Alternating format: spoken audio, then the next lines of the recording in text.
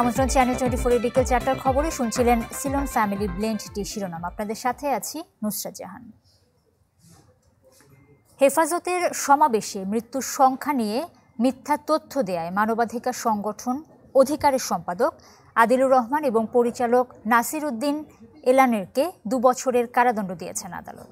ঢাকার সাইবার ট্রাইব্যুনালের বিচারক এ এম জুলফিকার হায়াত এই রায় দেন। রায়ে অসন্তুষ্ট প্রকাশ করে আপিলের কথা জানিয়েছে দুই পক্ষই।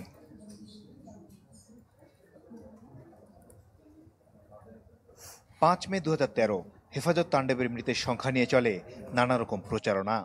যদিও সরকারের পক্ষ থেকে জানানো হয়, ওই রাতে মৃতের সংখ্যা ছিল এগারো জন। এ ঘটনায় মানবাধিকার সংগঠন অধিকার তাদের নিজস্ব ওয়েবসাইটে মৃতের সংখ্যা লিখে একষট্টি জন। মিথ্যা তথ্যের অভিযোগ এনে তাদের বিরুদ্ধে তথ্য প্রযুক্তি আইনে সাতান্ন ধারায় মামলা হয়। দীর্ঘ আইনি প্রক্রিয়া শেষে প্রায় দশ বছর পর সে মামলায় রায় দিলেন ঢাকার সাইবার ট্রাইব্যুনাল। হেফাজত তাণ্ডবে মিথ্যা তথ্য ছড়িয়ে বাংলাদেশের ভাবমূর্তি ক্ষুণ্ণ করেছে আদিলুর এলানের সংগঠন অধিকার, এমন পর্যবেক্ষণ দেন আদালত। দুজনকে দেয়া হয় দুই বছরের জেল।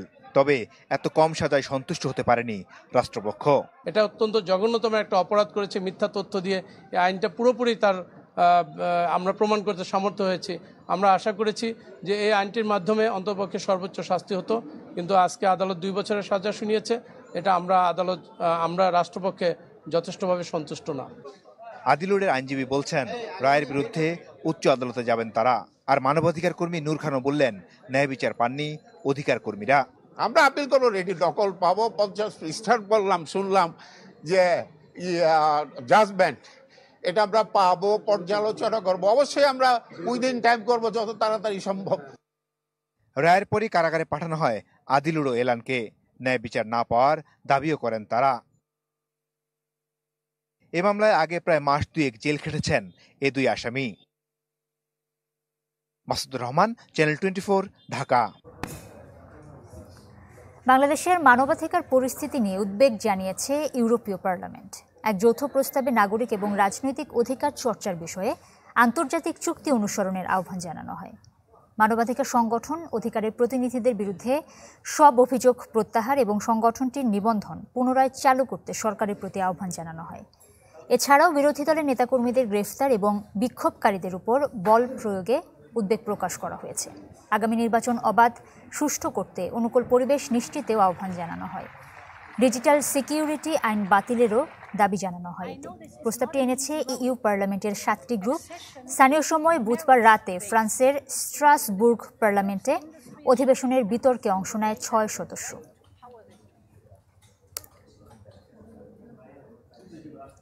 দেশের অর্জন কেউ যেন নষ্ট করতে না পারে সেজন্য জনপ্রতিনিধিদের সজাগ থাকার আহ্বান জানিয়েছেন প্রধানমন্ত্রী শেখ হাসিনা। গণভবনে জাতীয় স্থানীয় সরকার দিবসের অনুষ্ঠানে তিনি বলেন, জনপ্রতিনিধিদের মানুষের আস্থা এবং বিশ্বাস অর্জন করতে হবে। মাদক, সন্ত্রাস এবং জঙ্গিবাদ প্রতিরোধে তাদেরকে কাজ করার আহ্বানও জানিয়েছেন প্রধানমন্ত্রী। বলেন, দেশে স্থিতিশীল পরিবেশ থাকায় গ্রাম পর্যায় পর্যন্ত উন্নয়ন করা সম্ভব হয়েছে।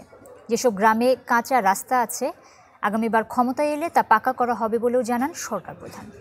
এ সময় দালালের খপ খপ্পরে পড়ে কেউ বিদেশে গিয়ে যেন বিপদে না পড়ে সে বিষয়েও সতর্ক থাকার আহ্বান জানান তিনি। ডেঙ্গু প্রতিরোধে সবাইকে সচেতন থাকার আহ্বান জানান প্রধানমন্ত্রী।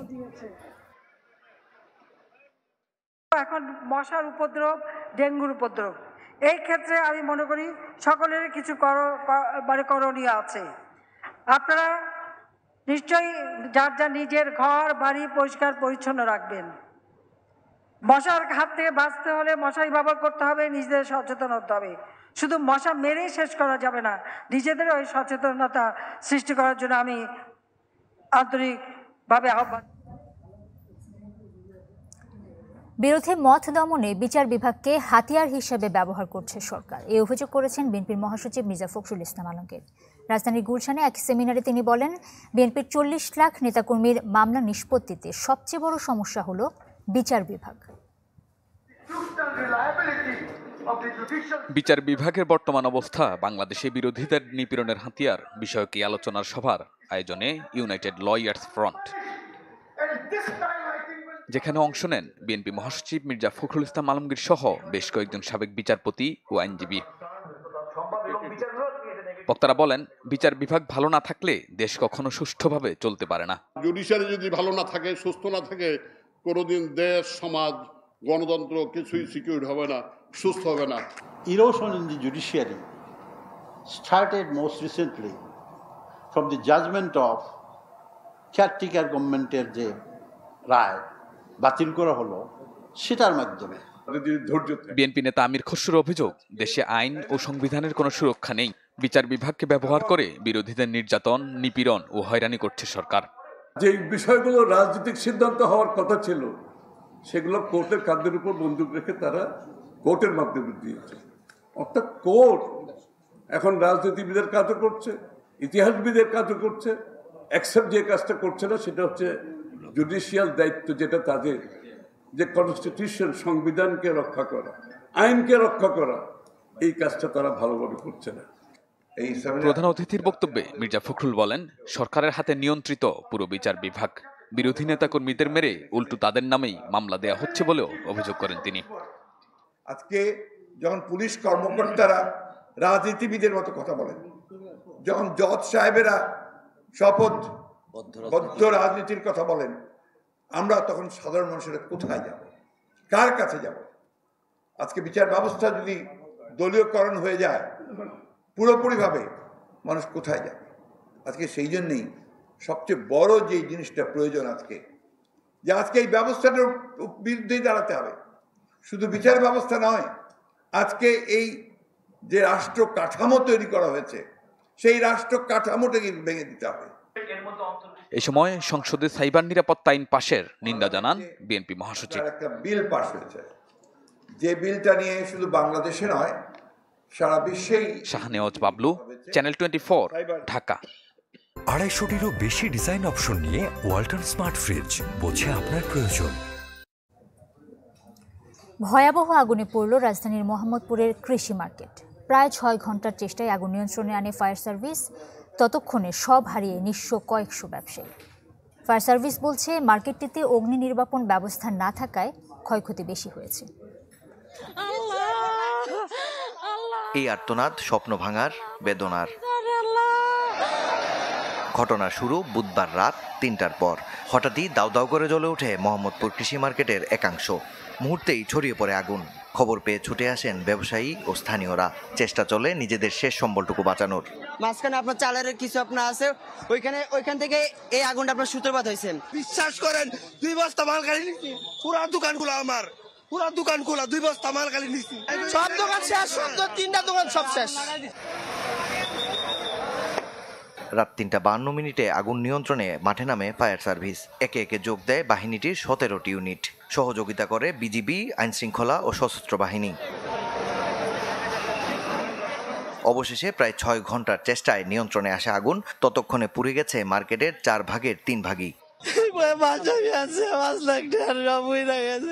যদি সাতশো দোকান থাকে তা আপনি সাত লাখ করে দেন যোগদান তার কত টাকা আছে? তারা পানি মারছে ওয়ালে পানি মারছে টিনে যে জায়গায় আগুন সে জায়গায় তাদের খবর নাই। ফায়ার সার্ভিস বলছে মার্কেটটি আগেই ঝুঁকিপূর্ণ ঘোষণা করা ছিল। ব্যবহার করা হয়েছে লোডের চেয়ে বেশি বিদ্যুৎ ফলে হতে পারে শর্ট সার্কিট। আমাদের এখানে বেগ পেতে হয়েছে আগুনটা ভিতরে। আমাদের ফায়ার ফাইটারদের প্রবেশ করাতে ভেঙে তালা ভেঙে এবং ক্লপসিবল গেট ভেঙে আমাদেরকে ভিতরে যেয়ে তারপরে আগুন নির্বাপন আমরা চেষ্টা করি। এই আগুনটাকে একটা জায়গায় কনফাইন করতে পেরেছে মানে সীমাবদ্ধ করতে পেরেছে।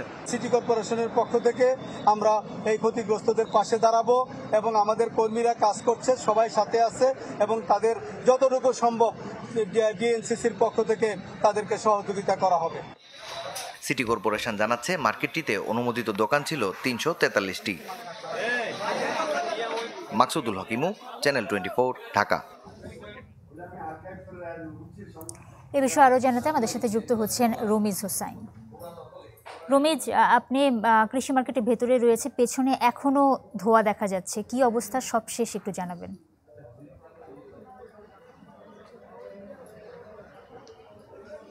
ফায়ার সার্ভিস আগুন নিয়ন্ত্রণ বলার পরেও কিন্তু এখন আমরা দেখতে পাচ্ছি বেশ প্রতিটা দোকান থেকে কিন্তু ধোয়া হচ্ছে। আপনি এবার পেছনে দেখতে পারেন যতগুলো দোকান আছে, বেশিরভাগ দোকান থেকে কিন্তু আমরা দেখেছি।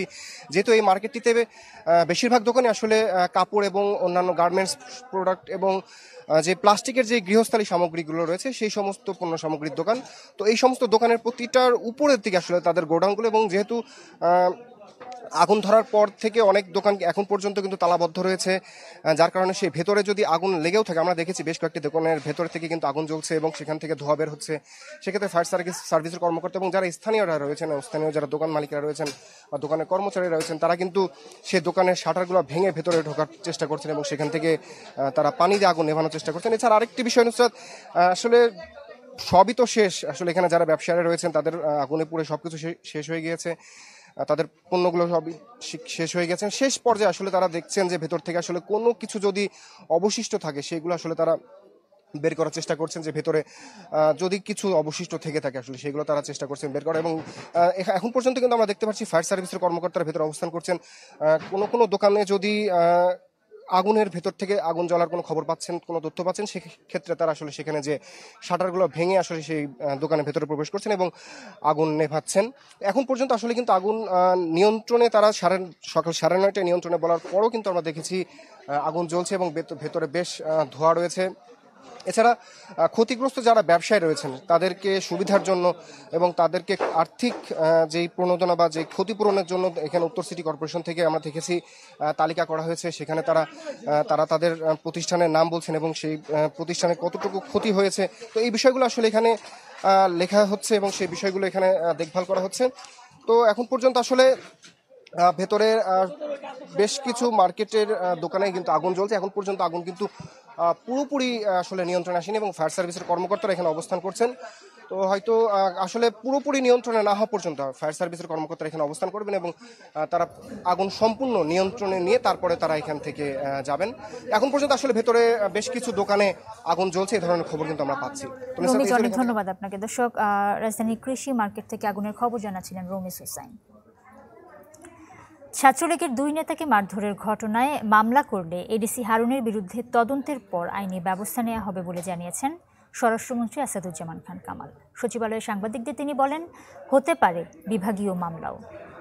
আমার জানা মতে যিনি ভিকটিম হয়েছেন, তিনি এখনও মামলা করেননি। তো মামলা করলে মামলার তদন্ত শুরু হবে। আর যেহেতু ঘটনা একটা ঘটেছে, এটা বিভাগীয় মামলা তো হবেই। সেইখানে উম, সেইখানে যা সিদ্ধান্ত হয় এটা বাজার নিয়ন্ত্রণে এবার ডিম আলু সহ বেশ কিছু নিত্যপণ্যের দাম বেঁধে দিয়েছে সরকার। দাম না কমলে আমদানি করা হবে ডিম। সচিবালয়ে ব্রিফে কথা বলেন বাণিজ্যমন্ত্রী টিপু মুন্সি। বলেন সিদ্ধান্ত বাস্তবায়নের সর্বোচ্চ বাজার মনিটর করা হবে। ভোক্তা অধিকারের পাশাপাশি বাজার নিয়ন্ত্রণে থাকবে কৃষি বিভাগ। দীর্ঘদিন ধরে নিত্যপণ্যের আগুনে পুড়ছে জনজীবন। আমদানির পাশাপাশি নাগালের বাইরে চলে গেছে স্থানীয় পর্যায়ে উৎপাদিত জিনিসপত্রের দামও। পরিস্থিতির উন্নয়নে এবার বেশ কয়েকটি পণ্যের সর্বোচ্চ খুচরা দর বেঁধে দিল বাণিজ্য মন্ত্রণালয়। এর মধ্যে প্রতি কেজি আলু ছত্রিশ টাকা, পেঁয়াজ পঁয়ষট্টি খোলা চিনি একশো বিশ ও প্যাকেট একশো ত্রিশ টাকা। একই সাথে বোতলজাত সয়াবিন তেল বিক্রি করতে হবে একশো উনসত্তর টাকায়। আর প্রতিটি ডিমের দাম হবে সর্বোচ্চ বারো টাকা। তবে ব্যবসায়ীরা এই দর না মানলে প্রয়োজনে আমদানির মাধ্যমে বাজার নিয়ন্ত্রণের ঘোষণা দেন বাণিজ্য মন্ত্রী। দেখেন এমনি আমাদের যে ভোক্তা অধিকার তারা জরিমানা করতে পারে। তবে যদি মামলাও করতে পারে আর যদি আমাদের মোবাইল কোর্ট হয় ম্যাজিস্ট্রেট থাকে তারা কিন্তু স্পটে জেলও দিতে পারে। তো আমরা অল আউট অ্যাকশনে নামবো। এদিন সেপ্টেম্বর মাসের টিসিবির পণ্য বিক্রি কার্যক্রমের উদ্বোধন করেন বাণিজ্যমন্ত্রী বলেন, যুদ্ধ পরবর্তী বৈশ্বিক অস্থিরতায় বেড়েছে সব ধরনের পণ্যের দাম। বৈশ্বিক কারণে দাম বেড়ে যাওয়ার ফলে আমাদের দেশেও তার দাম বেড়েছে। আমাদের মাননীয় প্রধানমন্ত্রী যিনি যথেষ্ট অনুভব করেন মানুষের কষ্টের কথা যার জন্য তিনি এই এক কোটি পরিবারকে, এক কোটি মানুষকে মানে প্রায় এক পাঁচ কোটি মানুষকে এই সাশ্রয়ী মূল্যে খাবার দেওয়ার ব্যবস্থা করেছেন যাতে করে তারা অন্তত কিছুটা হলে পরেও তারা সাশ্রয় পায়, কিছুটা রেহাই পায়। বরাবরের মতো টিসিবির মাধ্যমে স্বল্প মূল্যে বিক্রি হচ্ছে চাল, ডাল, তেল ও চিনি। কার্ডধারী এক কোটি পরিবার পাচ্ছে এই সুবিধা। Rakib Hossain channel twenty Dhaka. এই ছিল বিকেল চারটার খবরে, বিশ্বের যে কোনো প্রান্ত থেকে সবশেষ খবর জানতে ভিজিট করুন আমাদের ফেসবুক পেজ ইউটিউব চ্যানেল এবং ওয়েবসাইট সাথে থাকার জন্য ধন্যবাদ সবাই